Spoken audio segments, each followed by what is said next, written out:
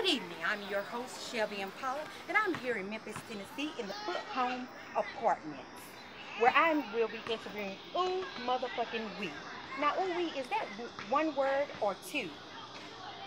Three, didn't you just say motherfucker?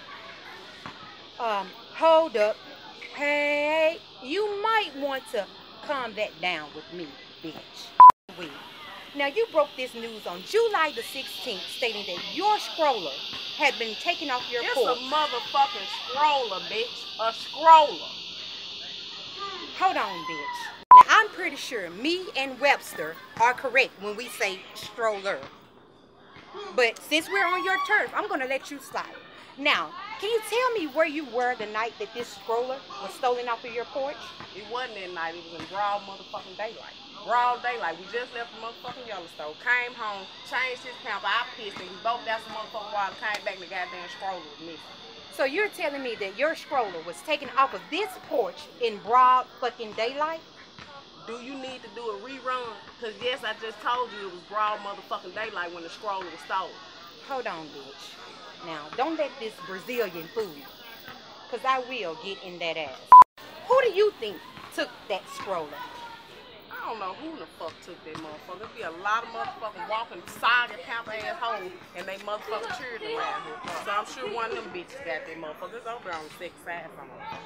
I'm telling you. So are you blaming a motherfucker child taking the stroller?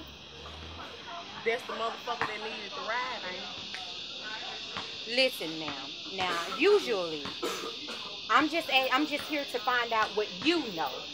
You know, I'm trying to help you get your stroller back. If I knew somebody had a motherfucking stroller, man. But aren't you ooh motherfucking weed? Ain't you a motherfucking news reporter? Report the motherfucking news. Get it out there who got my motherfucking stroller. oh, this bitch does not know me. so, ooh, motherfucking weed. Since I have you here now, is there anything you want to say to the scroller thief? Damn, I gotta look right here. In Bitch. that, yes. If you don't bring that motherfucking scroller back to three at the two foot power line, apartment 108 in the first foot home by the basketball court, bitch, you better bring my baby motherfucking shit. Fuck your motherfucking baby, bitch. That's my baby shit. Bring that motherfucker back, hoe. He heavy. Fuck wrong with these hoes.